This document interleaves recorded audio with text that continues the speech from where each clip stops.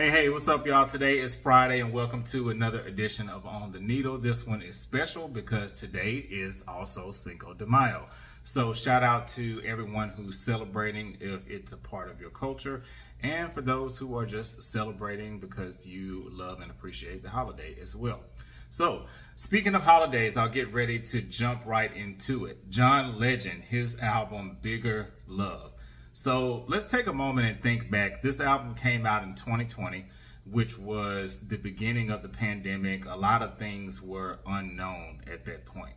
We didn't really know the seriousness of what this nasty virus would become at that point. It was bad, but we didn't realize that, you know, there would be all these other strands and so on and so forth.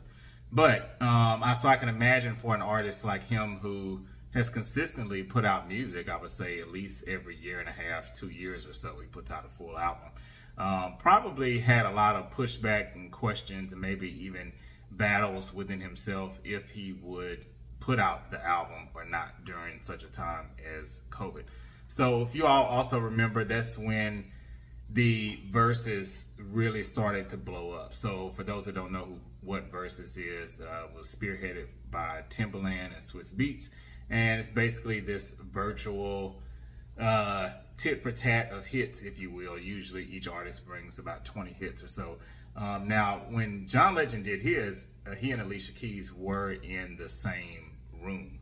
Uh, so they were together, uh, both of them being piano players. It was kind of cool because you got to see uh, some of them perform, some of their songs being performed on the keys. Um, but this album, Bigger Love, was released on another important holiday, uh, Juneteenth. Uh, so Friday, 19th of 2020. And I just, you know, y'all know I'm a sucker for some artwork. This cover is so cool. I love how like the galaxy is kind of represented inside of his hair and then you have these flowers here. So it's it's flowery, it's colorful, but somehow I feel like this is still a masculine cover, if you will. Um, and then we flip on the back. It has I don't know about y'all, but this this font and this kind of paintbrush text just makes me think about a really good hole in the wall restaurant. like might not be the cleanest, but you know maybe couple of the shingles of the roof are falling off, but the food's gonna be good. You're gonna want to come. So it, this album to me, it feels like a big cookout type of feel. Is to me is the perfect album. I think I could have reviewed today uh, for a day like today for Cinco de Mayo. Um, it's not colored. It's not a colored vinyl, so it's standard. But he put some thought into this packaging. Um, there's this whole celebration theme. Um, so there's like these messages on the sleeves that are listed here. So pretty cool, pretty cool. I don't know if that was him that came up with this art design or that was his team or whoever it was. It's a double album, so there's this is the other album that's um, included in the packaging. So really great. Oh, and I love an affordable album too. so I say this is one of the more affordable albums of his collection. At the time when I bought it, because I got it when it first came out, um, it was under $25. I don't know how much it's going for now, but it's definitely not a record that will break break the bank. For those of you who collect albums and things like that, you know that um, it's not unheard of for some albums to go as much as $50 for sale or even higher than that. So with John Legend, I think that he had a big task and a lot to prove with this album. What I mean by that is, although it wasn't one of his most commercially successful albums, I think John Legend, when Ordinary People came out, I think it was probably, and you all just wait. Feel free to weigh in on this if you agree or disagree. Songs like Ordinary People are prob- probably a little bit of a blessing and a curse because the song was so huge. It really took off um, on the R&B side as well as pop. I feel like it was an R&B record and it was a pop record because of its crossover appeal. and it was very bare bones, not a lot of tricky production, just kind of his voice and the piano. So I think sometimes when you have big hits like that, the expectation is to deliver more music like that. Case in point, All of Me uh, is a song where I think he kind of somehow was able to replicate that success. Um, All of Me, when the year that that song came out, I mean, you could not escape it at anybody's wedding. It was played everywhere. You heard it at red lights, you know, everywhere. So with Bigger Love, what I really appreciate about this album is I feel like he took a little bit of a detour. It's cohesive. I love a good concept album. You all know that.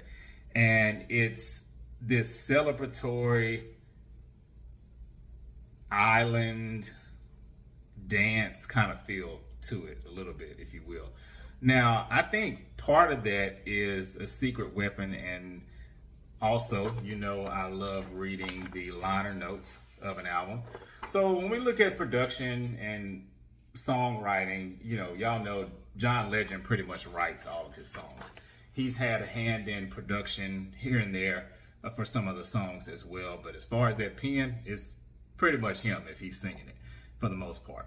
Um, production wise on here, not a, a lot of huge names that most people may recognize, I would say, besides maybe like Ryan Tedder. Oh, and Anderson .Paak, um, the song that he's featured on One Life, um, he produced on that one. Also, there's a producer, Oak. Never heard of Oak, but let me tell you, Oak is jamming because Ooh La La, which Oak produced, as well as Actions are two of my favorite songs on this album by far. So, you know, hey, in my opinion, Oak could have just carried this whole album out. Not to knock the contributions from the other producers, but I feel like he or she, whoever it is, did a great job. Um, what's interesting though is when you read these notes, so the executive producer of this album is John Legend, which is not a surprise, I don't think, to anyone, and also Raphael Saadiq.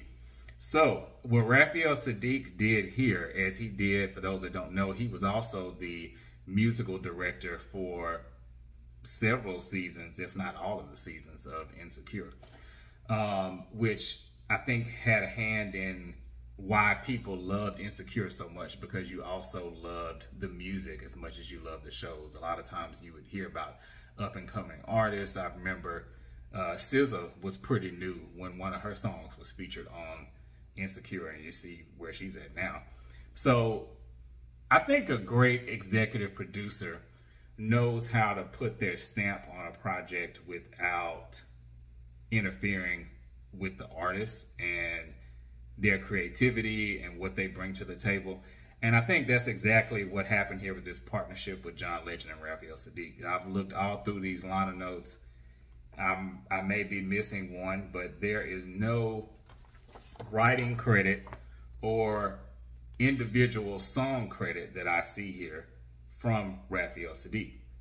But knowing that he joined John Legend in this co-executive producing credit, it makes a lot of sense why the album sounds the way that it did.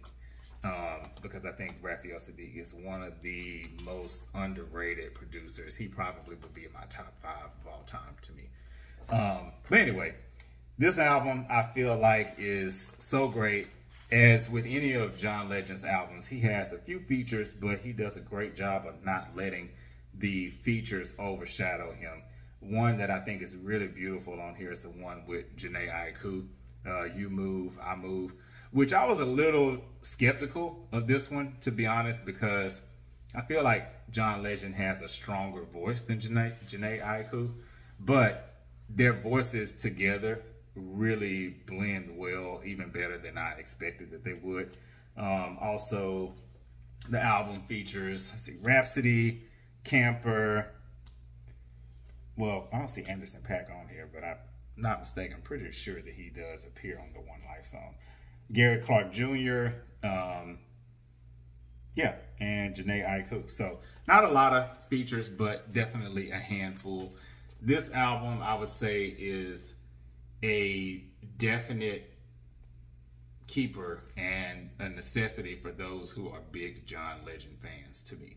You know, I would put this one up against any of his albums, really. Um, his first album is my favorite. That's still my favorite. Um, but I wouldn't say it's necessarily as good as that, but it definitely stands against and taller than, I would say, um, a lot of the albums that he's released after that debut album. So let me know what you all think. Bigger Love. This is the on the needle review for this week. Let me know what your favorite tracks are. Have you heard the album? Have you not heard the album? Did you miss it? There wasn't a lot of promotion for it, so quite possible a lot of people, unless you're just a really big John Legend fan, this album may have slipped under the radar for a lot of people because it wasn't really heavily promoted. And again, like I mentioned, this was during the onset of COVID. So a lot of things were unsure at that point. But great album. Love it. Let me know what you think. Don't forget to like, comment, and subscribe. And make sure also in a few weeks on June 1st, make sure that you tune in to my other YouTube channel. Uh, where I have a podcast called the Water Bear Podcast. We are kicking off season two on Thursday, June 1st, and these episodes are going to be live streamed on YouTube. So, trying something new this season, and make sure you all go over to the channel and check that out as well.